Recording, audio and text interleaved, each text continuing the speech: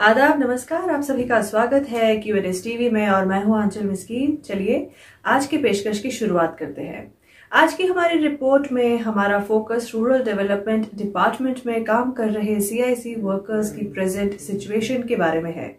आज के रिपोर्ट में हम इन्हीं से जुड़ा लंबे समय से एक पेंडिंग इशू को सबके सामने लाएँगे। सबसे पहले आपको बताते हैं कि इशू है क्या और किस तरह से ये सामने आया। असल में 18 फरवरी 2022 को प्रियंका चतुर्वेदी, जो राज्यसभा की मेंबर ऑफ़ पार्लियामेंट है, उन्होंने honourable home minister Shri Amit Shah ji को एक ऑफिशियल लेटर लिखी, जिसमें उन्होंने इस लेटर के ज़रिए रूरल डेवलपमेंट डिपार्टमेंट में काम कर रहे सीआईसी वर्कर्स की सिचुएशन को हाईलाइट करने की कोशिश की। इस लेटर में ये कन्वे करने की कोशिश की गई कि जिन एक सीआईसी ऑपरेटर्स की नियुक्ति 2004 में मेरिट के बेसिस पे हुई थी, वो 18 साल से अभी तक कुल दस हज़ार रूपए की सैलरी पे गुजारा कर रहे हैं और अभी भी रेगुलराइज नहीं किए गए। और जिन सीआईसी ऑपरेटर्स को उस समय नियुक्त किया गया वो M C M tech M S C I T BE और बी टेक जैसी डिग्री होल्डर्स है। और ऐसी डिग्रीज होने के बाद भी इन ऑपरेटर्स को सैलरी के नाम पे चिल्लर दिया जा रहा है। इन 18 सालों में इन सीआईसी ऑपरेटर्स को रेगुलराइज करने के लिए कई सरकारी कमेटीज बनाई गई, पर आज तक उसका कोई नतीजा देखने को नहीं मिला। दोस्तों, हम बार बार रूरल डेवलपमेंट डिपार्टमेंट में काम कर रहे सीआईसी ऑपरेटर्स का ज़िक्र कर रहे हैं। ये सीआईसी ऑपरेटर्स में सीआईसी का फुल फॉर्म है कम्युनिटी इंफॉर्मेशन सेंटर ये सीआईसी ऑपरेटर्स गाँव में रहने वाले लोगों को सरकारी स्कीम्स के बारे में जागरूक करते हैं। ई गवर्नेंस से जुड़े ऑनलाइन वेब पोर्टल्स मैनेज करते हैं।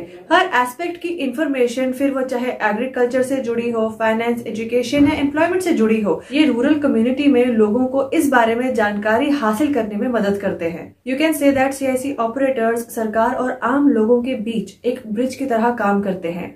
इन्हें किसी सूरत में, हल्के में नहीं लिया जाना चाहिए था।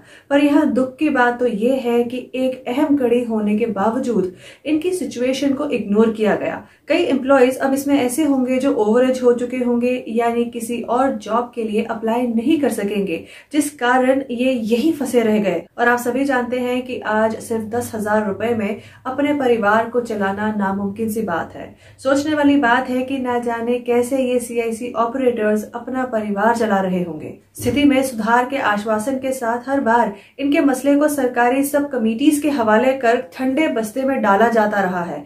ये इशू आज पहली बार हाईलाइट नहीं हो रहा। इस मसले को पहले भी बहुत बार सबके सामने लाया गया, पर जैसा कि हमने पहले भी कहा, इस और कुछ नहीं किया गया। अगर किया गया होता तो आज हम ये मसला फिर एड्रेस नहीं कर रहे होते। अब ये एक सौ बहत्तर सीआईसी ऑपरेटर्स इससे बदतर हाल में पहुँचे। उससे पहले ही यूटी गवर्नमेंट और ऑनरेबल एलजी से हमारी यही रिक्वेस्ट है कि प्लीज़ इस मसले को हल्के में ना लिया जाए। जो लोग अपनी ज़िंदगी के 18 साल इस काम को दे चुके हैं, वो कंप्लीट जस्टिस डिजर्व करते हैं। सैलरी के नाम पर दस हज़ार रुपए का मिलना और इस बात का सामने आना कि इतने सालों में ना तो इनकी सैलरी बढ़ाई गई और ना ही इन्हें रेगुलराइज किया गया। ये शर्म की बात है। इसीलिए यहाँ हमारी यही अपील रहेगी कि इस तरह की नाइंसाफी से इन सीआईसी ऑपरेटर्स को राहत दी जाए और जायज़ इंसाफ दिलाया जाए।